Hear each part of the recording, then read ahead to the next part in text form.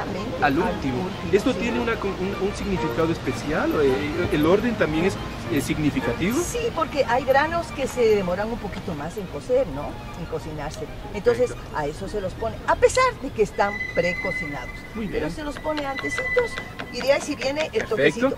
Al último, ya cuando está todo hecho, le ponemos al chocho.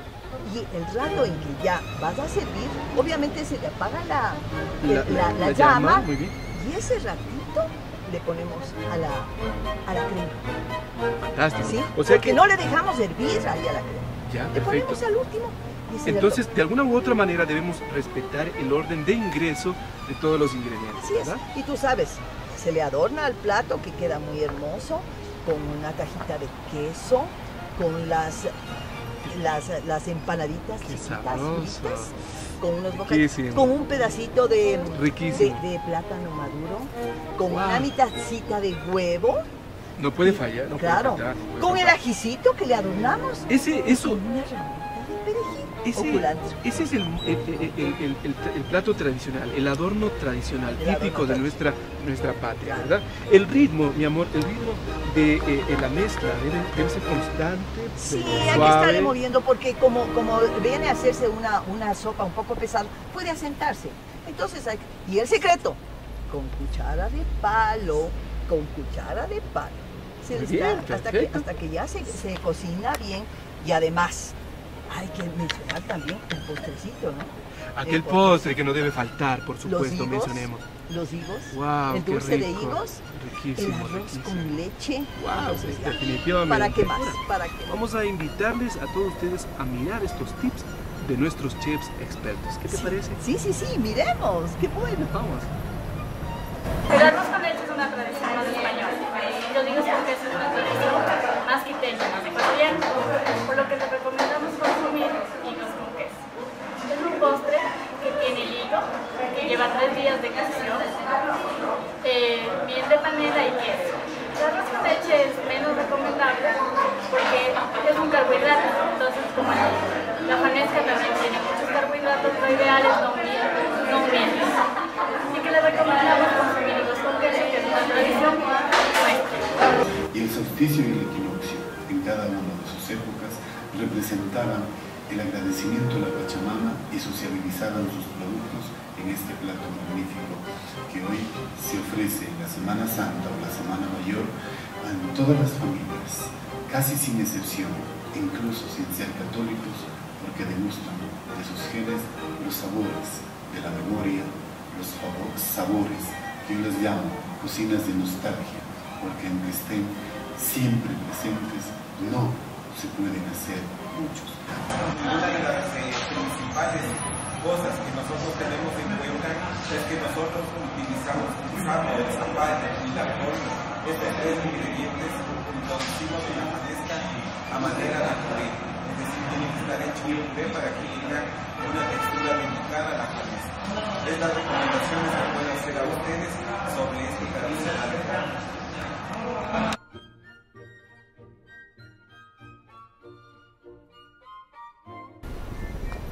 Tenemos lista nuestra receta. Vamos a hacer este acto tan ceremonial como lo hacían nuestros antepasados. Vamos a marcar nuestro plato entre todos nuestros amigos que estamos acá.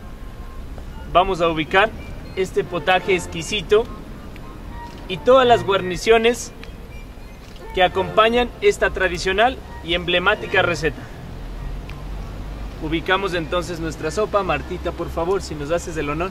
Yo empiezo con la delicia hecha a mano, repulgadita, nuestras famosas empanaditas. A mí me corresponde la hojita, las hierbitas, Las hierbitas que adornan unos- tan lindo. que le dé un poquito de color, unas, unos cortecitos de ají. A ver, Bueno, me tienes que ayudar, Andresito, Claro, porque para que quede más linda y colorida, como decía mi abuelita, que quede un arco iris, la fanesca, se le agrega el qué bonito.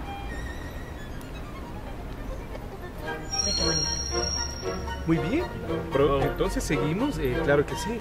Eh, a mí me ha tocado adornar el quesito. Aquí está el quesito. Muchas gracias, Martita. Delicioso. Por aquí lo posamos así. Y otrito, otrito. Ahora vamos con el maduro. Maduro, muy, muy importante. Aquí está el maduro. Vamos a colocarlo así, de esta manera. Delicioso. Listo. Muy bien. Realmente compactamos todos los ingredientes. Esto es una fiesta familiar. Esto es un potaje único, único para el mundo. Por eso es que resaltamos que la mejor cocina del mundo está hecho en mi país, en Ecuador. Les invitamos a que ustedes en su casa, nosotros acá, desde este espléndido lugar, vamos a degustar de este fabuloso plato. Sí, les invitamos para que en familia, con ese amor entre padres, hijos, los abuelitos, los primos, los tíos, nos sirvamos esta delicia, esta delicia que es muy nuestra. Así es, vamos a degustar entonces este maravilloso plato, este potaje que es nuestro. Por favor, no lo olviden, es hecho aquí en el Ecuador para el mundo entero. ¡Y que viva la fanesca! ¡Que, viva! Entonces vamos a comer ya. Vamos. Les voy a hablar de la fanesca gigante de la mesa de los chefs. Este es un platillo que lo realizamos todos los años desde hace 10 años y que es en favor de los más necesitados. Este año tuvo mucho éxito gracias a la labor de todos los chefs y los alumnos y los proveedores.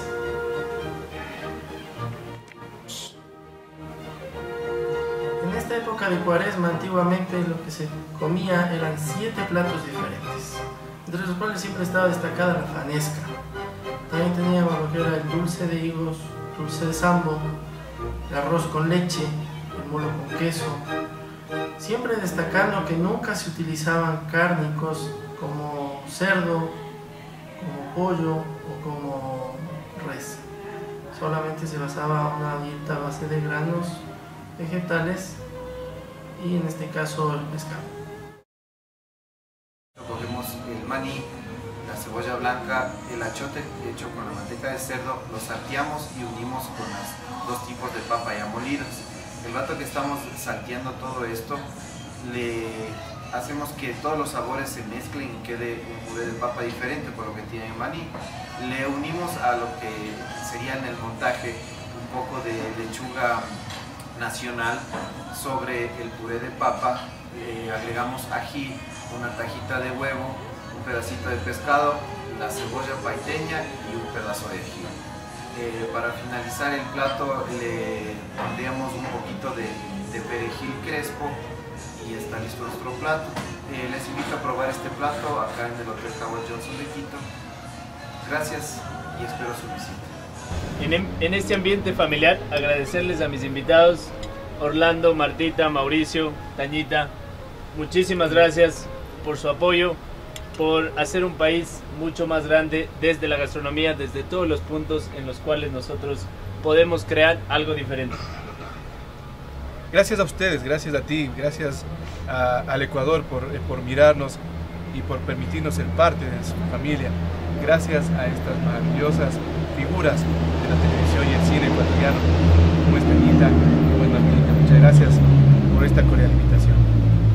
Solamente gracias por la oportunidad de degustar este plato tan exquisito y de estar en la maravillosa compañía de mis guaguas.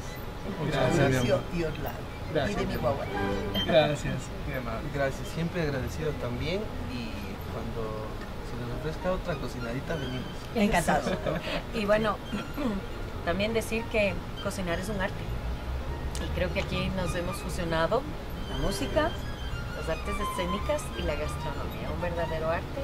Muchas gracias, Andresito, mis primos queridos. Gracias, mi amor, Y mi mamita dorada, que para mí, Fanesca es igual a mamá.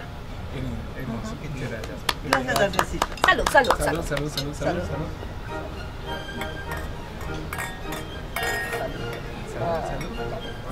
salud. Salud,